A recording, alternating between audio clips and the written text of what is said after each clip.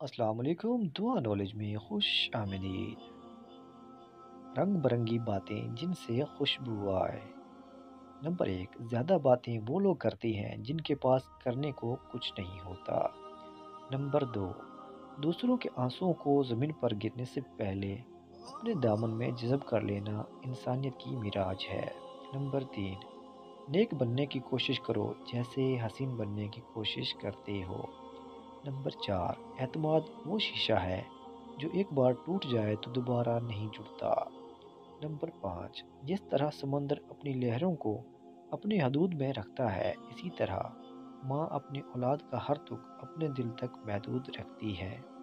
Number छः, जो ये कहे कि इसकी बात सच्ची है तो इसकी हर बात झूठ होगी। नंबर सात, मेहनत से भी आदमी थक जाता है। और काहली से भी, मगर मेहनत का नतीजा सेहत और दौलत है, और काहली का नतीजा बीमारी और अफलास, नंबर आठ। राहत कसरत आमदनी से नहीं किलत मसारफ में है।